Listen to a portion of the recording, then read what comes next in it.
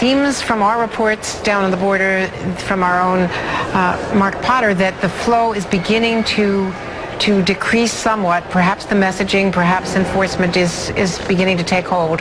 But what do we do in terms of policy going forward? Yeah, well, that's a tough question. There is really only one way that we're going to stop that flow entirely, and that's if uh, we stabilize, help these other countries stabilize uh, and fight the violence that is going is sweeping through those countries. Um, you know, as a as the United States as a world leader, you know, we are very good about telling other countries that they must accept refugees from Syria or Ethiopia or Darfur.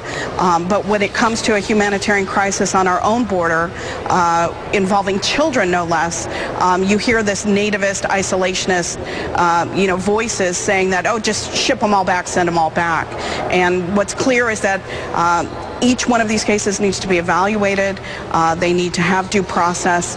And uh, choking the funding to allow that process to go forward isn't going to expedite the removal of anybody. Uh, we need to uh, fund the president's request to try to help process these children, find out who does qualify for refugee status or asylum, uh, and try to connect these children with their parents.